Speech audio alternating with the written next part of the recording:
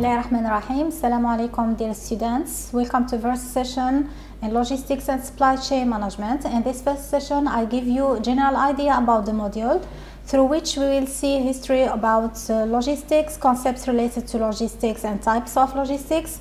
The module is divided into uh, 10 courses or 10 lectures. Uh, the first part or two chapters, first chapter is about uh, logistics and the second is about uh, supply chain management. In logistics, we'll see also the importance of logistics in companies and the relationship between logistics and enterprises functions. And uh, then in the second chap chapter, uh, which is about supply chain management, we will give uh, uh, some definitions about uh, supply chain management or supply chain firstly, then supply chain management, its objectives, principles, elements, and the role of supply chain management in uh, companies and in uh, especially in realizing the competitive advantage.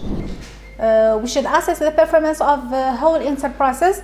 We have supply chain performance indicators through which we can uh, explain and analyze more uh, all indicators using in, uh, in assessing the performance of supply chain and the importance of evaluating supply chain performance. So this is a general idea about what we will see in this lecture or in this course generally and uh, inshallah in next sessions we will explain in details all these uh, points. Thank you so much for your attendance and uh, see you in next sessions inshallah.